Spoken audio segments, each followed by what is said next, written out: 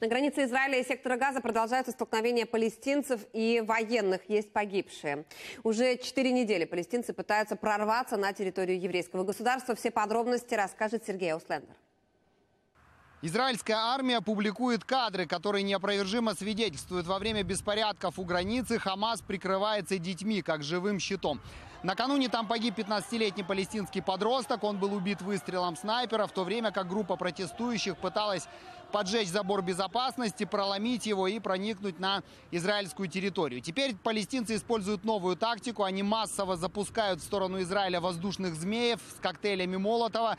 В одном из случаев им таким образом даже удалось вызвать сильный лесной пожар. Армия всячески противодействует этим попыткам, о чем э, арабов предупреждают с помощью громкоговорителей и листовок, разумеется, на арабском языке.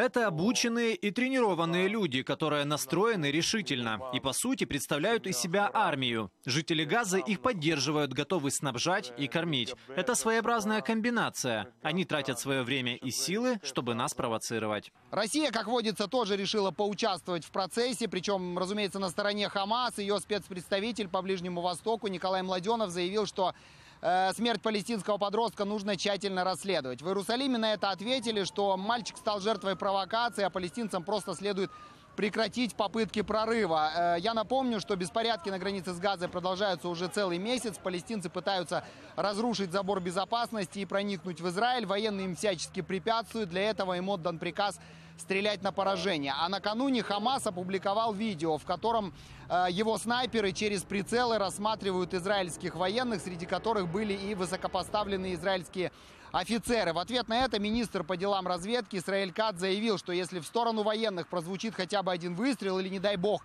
кто-нибудь из них будет убит или ранен, тогда Израиль немедленно возобновит точечные ликвидации руководителей Хамас.